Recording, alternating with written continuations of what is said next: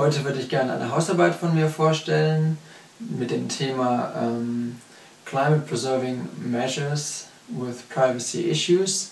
Also es geht sozusagen darum, Technologien vorzustellen, die uns im Kampf gegen den Klimawandel sehr nützlich sind, zum Beispiel Navigationssysteme, bessere Koordination über Smartphones, ähm, Carsharing, ähm, Smart Grids, also intelligente Stromnetze und Smart Meters, die uns in Echtzeit unseren Stromverbrauch angeben und dadurch unser Transparenten und Fehlverhalten offenlegen.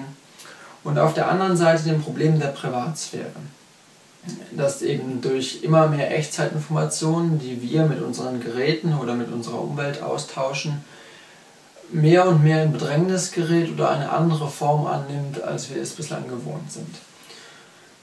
Und beides sind grüne Themen. Beides sind eigentlich eher linke Themen, also sowohl der Schutz der Privatsphäre als auch der Intimsphäre ist ein eher linkes Thema, genauso wie eben der Ausbau von erneuerbaren Energien oder von, ähm, von Technologien, die den Klimawandel bekämpfen.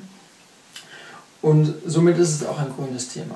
Und was ich in den letzten Jahren gesehen habe, ist, dass ähm, man sehr für diese ganzen neuen Technologien ist, dabei allerdings so ein bisschen die Gefahr für die Privatsphäre, wie wir sie heute sehen, verkennt. Die Arbeit ist jetzt keine akademische Meisterleistung, aber sie zeigt ganz gut auf, wo ein großes Dilemma für die Grünen entstehen könnte. Nämlich auf der einen Seite diese ganzen Technologien, die wir wahrscheinlich brauchen werden, um dem Klimawandel zu begegnen. Und auf der anderen Seite eben die Privatsphäre die, und die Intimsphäre, die aufgrund von Smart Grids mehr und mehr in Bedrängnis gerät.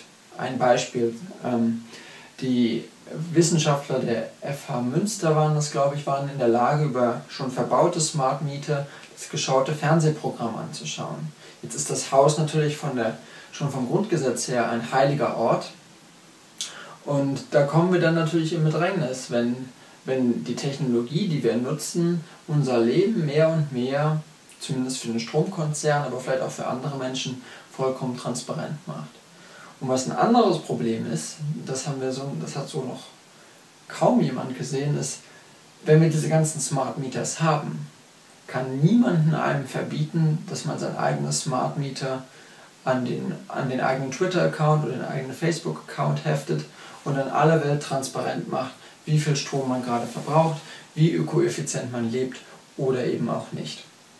Problematisch an der ganzen Geschichte ist nur, dass durch Statistiken über einen selbst auch manchmal viel ausgesagt werden kann über die direkte Umgebung, in der man sich befindet, über seine Nachbarn, über Leute mit minimalen Gleichähnlichkeiten, wie man selbst hat.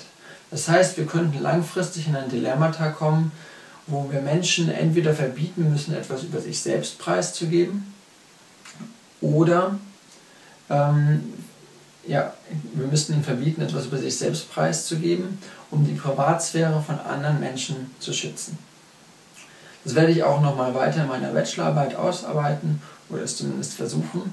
Aber in, diesem, in dieser Hausarbeit geht es im Prinzip darum, aufzuzeigen, dass wir hier in ein grünes Dilemma geraten könnten. Einerseits zwischen den Technologien, die wir brauchen, um dem Klimawandel zu begegnen und auf der anderen Seite der, der, der Wirkung dieser Technologien auf unsere Privatsphäre.